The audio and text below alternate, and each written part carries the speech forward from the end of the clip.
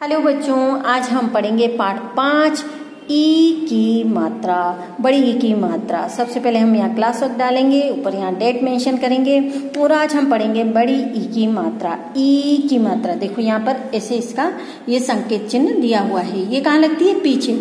जैसे हमने यहाँ लिखा आ, पीला। हमें पीला लिखना है तो हम प को मात्रा कहाँ से लगाएँगे? पीछे से। अब आप बड़े बच्चे हो तो लाइन में आप कहाँ लगते हो? पीछे। हम इसको ऐसे याद रखेंगे कि लाइन में बड़े बच्चे कहाँ लगते हैं? पीछे। तो जो बड़ी की मात्रा लगती है, वो कहाँ लगती है? हम बोलते हैं ना, बड़ी ई की मात्रा। तो बड़ी की मात्रा कहाँ लगती है? अक्षर के पीछे। कहाँ लगेगी? ये हमारा अक्षर है प, और इसके पीछे से जो मात्रा लगेगी, वो बड़ी की मात्रा लगेगी, और इसका जो स्वर होगा, उच्चारण होगा, वो कैसा होगा? पी। अब हम इसमें अगर ला जोड़ेंगे, आ की मात्रा का एक शब्द जोड़ेंगे तो ये क्या बनेगा? पीला। क्या बनेगा? पीला। इस तरह से इसका उच्चारण होगा। ठीक है? चलिए अब आगे पढ़ते हैं। देखो और पढ़ो। सी एंड रीड काली। देखो, यहाँ पर जो मात्रा का उच्चारण आ रहा है, ल में वो आ रहा है ई। काली, सी, दादी, की, बकरी। बड़ी, सीधी, सादी, बकरी। उस दिन बकरी पड़ी बीमार। दादी करती उसका उपचार। बीमारी की दवा खाती बकरी।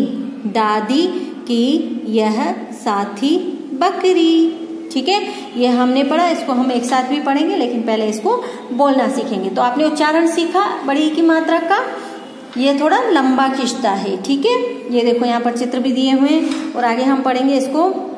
सीमा दीपक जला आई। जल की रानी मछली दिखी।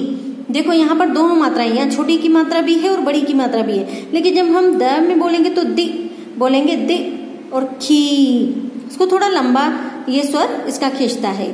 तो दिखी, सीमा की बहन रीमा ने मछली पाली थी। वह चारा खिला रही थी। उसकी मामी ककड़ी, लीची, नाशपाती लाई।